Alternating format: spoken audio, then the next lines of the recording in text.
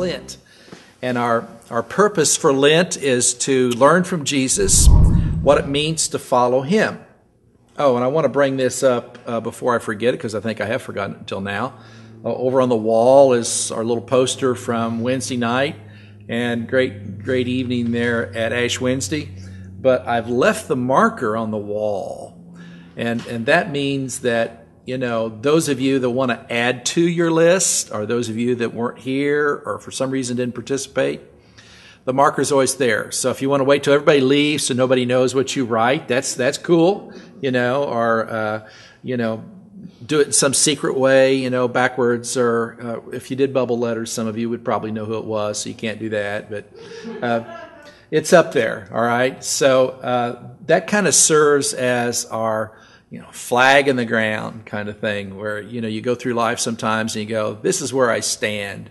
So it to, to come out with a write something down that this is what I'm going to do this Lent is powerful, and I encourage you to feel free to do that. We begin today with a text, an event that you probably heard before. It's called the Call the Four Fishermen. You know, uh, follow me and I'll make you fishers of men. And so it's Peter, Andrew, James, and John. It's from Matthew 4 18 to 22. It says, While walking by the Sea of Galilee, he saw two brothers, Simon, who was called Peter, and Andrew his brother, casting a net into the sea, for they were fishermen. And he said to them, Follow me, and I will make you fishers of men. Immediately they left their nets and followed him. And going on from there, he saw two other brothers, James, the son of Zebedee, and John his brother, in the boat with Zebedee, their father, mending their nets. And he called to them. Immediately they left the boat and their father and followed him. The story may be uh, so familiar to us that uh, we miss kind of the, the magnitude, uh, the size of what is happening in the lives of these four men, and we think, well, isn't that nice? Jesus calls them, and I like the way he uses the words, you know, fishermen and fishers and men, and but we we know that when leaving, when we're leaving or going away, when that happens in our lives, that it's anything but small. It's anything but routine. I mean, it's always huge. Um, I think of times when when when leaving happens, like you know, some of you have done this, some of you haven't done this. You you've got your kids and they're going to college, and and you've prepared for this. I mean, most of you guys are like, you can remember, you know, your parents boo-hooing in the car and make, you know, not wanting to leave the dorm room and stuff. But you got to be on the parent side of that. You know, uh, you, have done all this. Now you get your kids to college and then you just drop them off. And, you know, it's leaving is not easy. You know, the old man crying in the car and you got something in his eye kind of thing. It's, it's rough. Or uh, another instance of leaving, I think of the soldiers that are standing like in the high school gym they're getting ready to be deployed. And, you know, the, the soldier, she said, has to say goodbye to her children. Is anything more emotional than a soldier that's being deployed into a war zone that's saying goodbye to her children? I mean, good, saying goodbye is not easy. Or how about when your family moves? And you know it for months but it's like, you know, it's the last week. Everybody has to do the last thing. Could you come over for one more time? we we, we know you've been here your whole lives, but we'd like to have you over for dinner one more time. And all those goodbyes at school, and I know my kids went through that, all those goodbyes at school and stuff, it's very emotional. It's not easy going away. It's, it's rough stuff. And I was thinking about that, and I remembered, uh, remembered an illustration, I, I think this will hit, uh, from Friends when uh, Rachel was going away to France.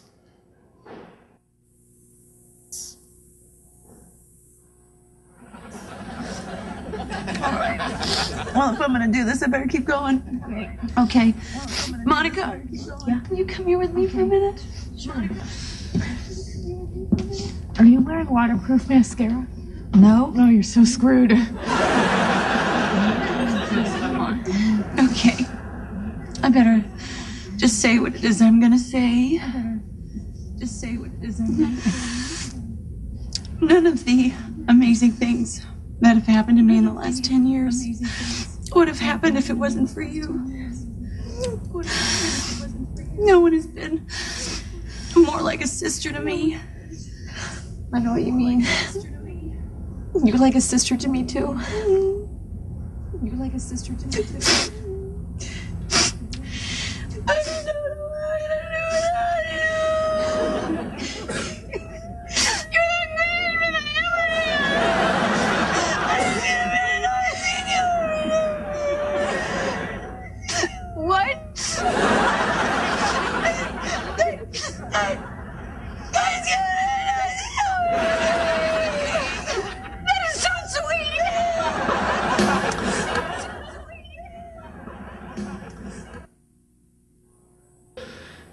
Guys, we, we do it differently as men, don't we? Yeah, we, we don't do, you know, the way we leave each other is we like, hey, you still got my ball glove.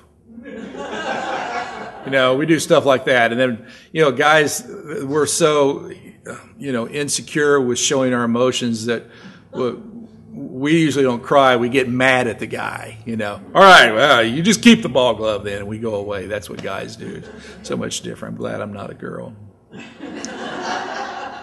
Well, let's own this. I mean, let's be real about change and going away. Even when you know it's the right thing to do, and even when it's something that you know that has to be done, that doesn't make it fun or easy. It may be necessary, but that doesn't mean that you look forward to it. And that's because we're no different than any other object in creation. Everything that's at rest stays at rest, right, until a greater force is exerted upon it.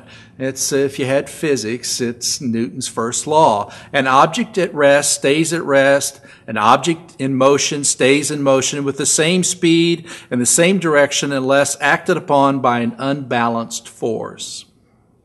Put more simply, we just sit on the couch until somebody makes us move, right? Nobody likes to change anything. We just continue to do what we've been doing. I mean, can you own that? I can own that.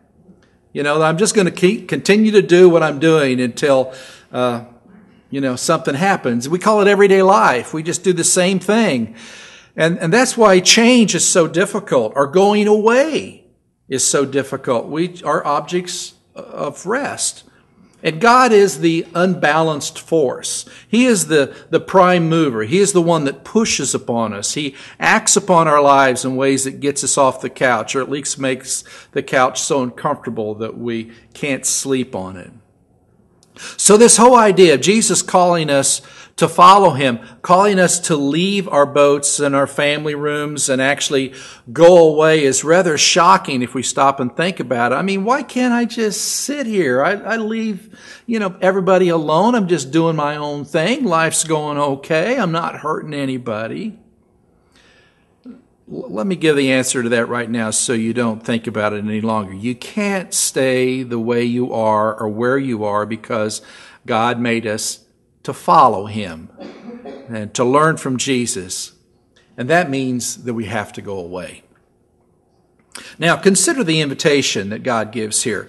In the timeline of the ministry of Jesus, this is early. Jesus uh, was baptized. And the Father said, This is my Son in whom I'm well pleased. Then he's led by the Spirit out into the wilderness where he's tempted three times by Satan over the issue is, is whether he really is the Son of God. And then he leaves his hometown of Nazareth and he goes down to Capernaum. And this is on the Sea of Galilee. It's a strategic location uh, because it's a major trade route, and he would spend most of the three years of his ministry right there in Capernaum. And while he's there, he met two sets of brothers uh, Peter and his brother Andrew, and James and his brother John. They're fishermen, which, you know, made them middle class citizens. They are small businessmen. This is not a lower trade as we would think, oh, they're just fishermen, you know. We see fishermen as guys that just waste their time down at Jacobson Park. But no, this was a this was middle class. They were entrepreneurs. And right there by the Sea of Galilee, archaeological there's an archaeological dig there that they think pretty sure is the house of Peter. It's a pretty good sized house. Peter's not uh, you know, he's a man of means, is the way this ends up. Now, Jesus, Jesus is a rabbi. Of all the titles that he's that are used of him, rabbi, master, teacher is the prominent title. That's the way that he's seen. And in their day, Jewish rabbis would teach young men, sorry girls, young men, you know, they would teach you Torah, they would teach you law. And you would learn the, the Old Testament, the first five books of the Old Testament, until you were about 12 or 13 years old. Then you would go into a trade with your father. And a few of the young men, the, the best of the young men, okay, the smartest, the brightest of the young men would be asked to stay on with the rabbi and would be trained as a disciple of the rabbi. And they would literally live every day. They, they, they call it, you know, having the dust of the rabbi all over you. They would eat together. They, they would uh, study together. And they would be trained up to be rabbis themselves who would then teach other young men, and that's how the word was passed on from generation to generation. And Jesus at age 30 begins his ministry by calling 12 men from this northern region of Israel, which is really the farming area. And none of them are young. Uh, none of them are educated as far as we know. And none of them are likely disciples or good candidates to be disciples. In fact, we can say that they were very unlikely, very uneducated, untrained, undeveloped, unheard of, and generally the undisciples. They might have had t shirts that said that. Big un on it. I don't know. No one had selected them. They weren't bright enough. They weren't at the top of the class, you see. When they were young men, no rabbi would have them, so they didn't show enough promise or skills or smarts. They were just fishermen. They were just fathers. They were just brothers. They were just sons. They were just in the same way that every other person that God calls is a just something. Later, the Apostle Paul, who was anything but a just, he was a very well educated Pharisee, said it this way 1 Corinthians 1 26 to 29 speaking to the church at Corinth, he says, For consider your calling, brothers. Not many of you were wise, according to world standards. Not many were powerful. Not many were of noble birth. But God chose what is foolish in this world to shame the wise. God chose what is weak in the world to shame the strong. God chose what is low and despised in the world, even things that are not, to bring to nothing things that are, so that no human being might boast in the presence of God. There'd be no boasting among the fishermen about, well, we finally made the grade called by the rabbi because they were shocked. They were shocked as their families which were shocked. No one in their family likely thought that they would ever be called as a disciple of anybody. But, but this is the way of God. This is the way that God does it. God calls the just. God calls those who are just salesmen and, and just teachers and just clerks and just farmers and just carpenters and just homemakers. That's who God calls. Jesus said to them, I will make you fishers of men. Had he called somebody who already thought that he was a, quote, fisher of men, he would have to unteach them before he could teach them. See, the God, the call of God for us to follow is given to us not because we have competence, because we don't have any competence in the kingdom. The call of God is not given to us because we have skills or smarts, because I don't think God is lacking skills or smarts. What do you think? No. God calls us, He invites us as just people, unqualified people, because Jesus is the teacher and we are the students. Jesus is the master. We are the followers. And he says that we will learn from him. We had that Wednesday night in Matthew 11, 29. He says that he will teach us to be disciple makers. That's fishers of men, right? And he reminds us that he has called us not we have not called ourselves. Jesus in John 15 says, You did not choose me, but I chose you and appointed you that you should go and bear fruit. You see, you didn't choose me. I chose you. The call of God comes to us from Him. Now, the challenge to go with the invitation is really very radical. I mean, Jesus walks by two sets of brothers as they're in their boats and their nets and they're engaged in their everyday work. And he calls them to leave, to come away, to leave their families, leave their vocations, leave their plans, leave their homes, leave everything that they know as this world in order to find their new lives in the kingdom of God. And I think we have to be careful here that we don't romanticize this because we do this a lot with scripture. You know, we hear this stuff and we, we, it's just a nice little story. So, so don't romanticize this. Don't, uh, they didn't know that they would someday be apostles. They didn't know that cathedrals would be named after them. They didn't know that children would be named after them forever and ever. A good Christian name like John, see, or Andrew. They didn't know that. The only promise that is given is that they will learn from Jesus how to disciple other people, making them fishers of men, and, and there's so much left unsaid.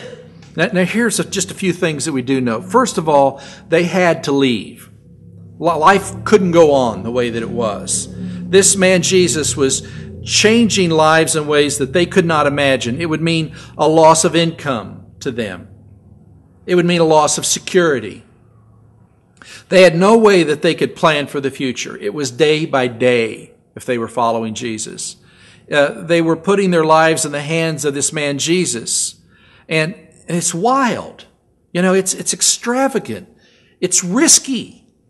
It's just so God. They didn't sit down and say, well, you know, life's a little boring here. What do you guys think? Are, are you up for an adventure? Why don't we, you know, throw in with Jesus and see what happens? Well, isn't this exciting, you know? No, they had to leave who they were, who they knew, where they were, and, and what they knew about life for a future with a man that they really didn't know very well. I mean, it's, it's huge. But they had to leave. The second thing is there could be no compromising. There could be no halfway. It's like they couldn't say, well, you know, we hear you, Jesus. I'll follow you Monday, Wednesday, and Friday. And Tuesday, Thursday, Saturday, I'll fish. You know, part-time work, part-time following Jesus. The, Jesus has no part-time followers.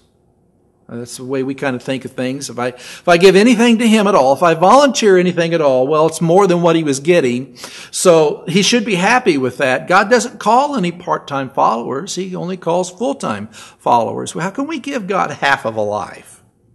Would you, would you follow a God that says anything you can do is enough? And, you know, anything you can give me, just a little bit of your life? How can we worship a God who settles for leftovers from us?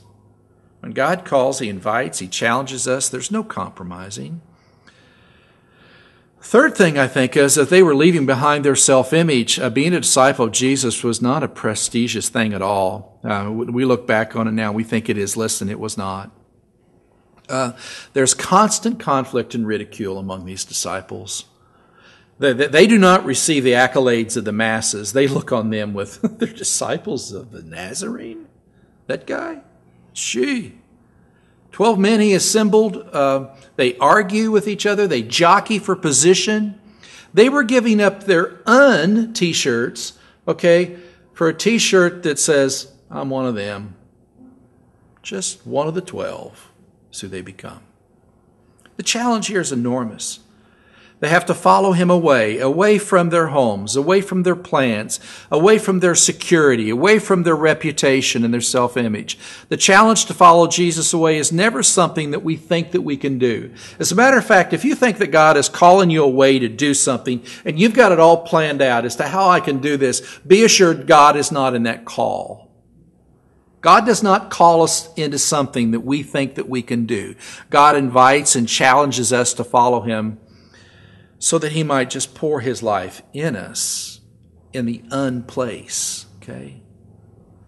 Well, where's a way? Uh, let's, let's get this word from the Sea of Galilee here to Lexington. God does not call everyone to leave their families and vocations to come away with Him into intense full time service. As one that was called away, uh, from a hometown, called away from a vocation, let me say that it might be a whole lot easier to leave than it is to stay. When God calls you to leave your family, when God calls you to leave your vocation and your public identity, it's frightening, it's risky at the very least, but it's not more than to stay in your vocation, to stay in your family, to stay in your community and follow Him right there. Well, let's not you know, say, oh, people that are missionaries or pastors, they've been called away, but I've not been called away. You see, away is leaving your self sufficiency. Away is, is leaving this security picture that you have for the future that's based in what you can do. Away is leaving your plans, your dreams. Away is putting the call of God of your life above your call of your vocation. Away is putting the mission of Jesus before your family. Away is putting the mission of Jesus as the core of your family. Away is putting your need to be somebody important and somebody popular behind the need of Jesus Christ to use you in his kingdom. I, you know, I really think it's easier to go away to another location and go through all the tear and go through all the tears and go through all the goodbyes and all that stuff than it is to stay at home and not leave physically and follow him where you are because the way to which Jesus calls us is to be lived among people who know us so well. And they can spot a phony a mile away. It takes you guys a while to spot a phony when someone new comes in, right? Some of you have heard my bowling story, but for those of you that haven't, I love to tell it, so I'll tell it again. When I was a young Christian in Illinois, I did what most people in Illinois do in the wintertime and in the Midwest you bowl. Striking figure in a polyester shirt, I might add. Striking figure. I was on a bowling team with four guys that I'd grown up with, went to junior high with them, had hung with them during, during uh, high school. And we all got married. And so, what do you do when you're married in Illinois to get out of the house on Wednesday night? You join a bowling team where you could roll a ball and tip some brews. Some nights there were more brews than the good rolling of the ball, but we were a pretty good bowling team, really. When I came to Christ, I stopped drinking. Not because somebody told me to, but just I just stopped drinking, uh, you know, and I kept bowling. And um, these were my friends. I didn't have a bunch of other friends, and actually became much better bowler because I could bowl for three games sober rather than just one game sober, you know. And um, I, I actually, you know, I, I, never preached to them. I didn't hand tracts out. I, I didn't like on their backswing go praise Jesus or anything like that. You know, nothing weird. I just, I was just Don. Only now Don, you know, didn't drink, and um, one of them really had a problem with that uh, because. Uh, you know, when, when we would lose, he would say that I was the problem because I was a wet blanket on everybody. I was spoiling their party, okay, because I wasn't drinking. So one night I showed up on Wednesday night in my little, you know, polyester shirt and my bowling ball, and um, they had replaced me on the team. Somebody else was bowling instead of me. And my old buddies didn't even have enough guts to call me up and say, uh, Van Zant, you're off the team. They just had the guy showed up and everybody just kind of sat there and looked at their shoes, you know, kind of awkward moment to say the least. But after a few weeks, I realized that I was no longer busy on Wednesday nights, and now I could go to the pastor's Bible study. So I got nothing else to do, you know.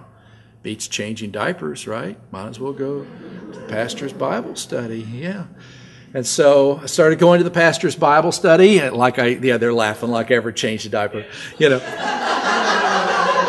so started going for five years. I sat under this man's teaching and I learned so much in those five years. But I know what it is to stay where you are and be called away in your heart and yet physically have to stay where you are. It's not easy. It's, it's a rough path. Our way means finding time to read God's Word while I'm a mother, while I'm a father, while I'm an employee, a neighbor, a friend, and all those other life demands of vocation and friends and all those different hats that we wear, all those different people that we become based on who we're around. Oh, they push really hard against this away call on our life. We're called to live for him, him among those who do not live for Him. Uh, we're called to live to learn how to live, how to, excuse me, how to love the unlovely, not just on Sundays, but every day, because all the unlovelies, they seem to show up at work and in the family and in different places next door. We go away, we never leave. We accept the yoke of Jesus and and we never call the moving truck. We, we leave our nets and our fathers and we learn from him as he teaches us what it means to pursue God and to obey God and to imitate the life of Jesus. And I admit that this call to stay and be away doesn't get the attention that the other gets. I mean, somebody leaves and they go, Oh, she's going into the mission field. I admire her so much. Or he's being ordained. Uh, how inspirational, you know. That gets all the attention. Uh, the away is seen by all and it's quick and it's identifiable, but to stay home and be away, to follow Christ where we are, changing slowly, daily, forgiving those who've harmed us a hundred times over because they keep harming us, uh, speaking for Jesus, representing Him in the circles in which we have always lived. That's really following Jesus. That's really following Him out of the boats and going away. You know, I think it's time to move on um, God calls you from everything that interferes with you pursuing, with you obeying, with you imitating Jesus Christ. Everything, not just the things you think you can handle, everything. Jesus, again, is this unbalanced force that pushes against us in our place of rest, where we have come to rest in our lives. And this Lent, God is calling us out of our boats. He's calling us away from those places of false security that we have accepted and He's calling us to follow Him. Is He calling you today? Jesus said, um, No one comes to me unless the Father calls. So today, is He calling you? I ask that question of you. I want you to take this home with you. Uh, the last statement we can say that I will not follow, but we can't say that I cannot follow because the actual following is uh, a matter of me giving my will over to God and saying, Yes, I'll get out of the boat. And God is the one that leads. Now let's sit with that just for a few minutes in prayer.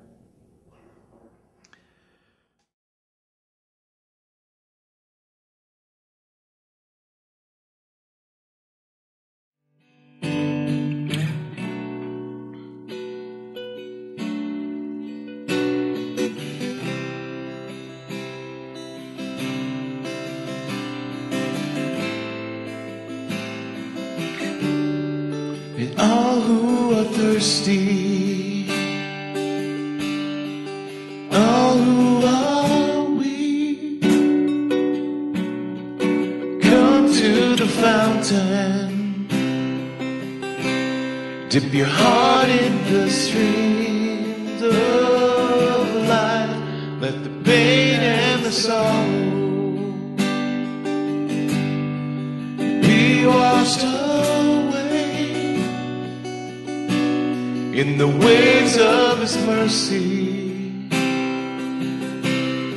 As deep cries out.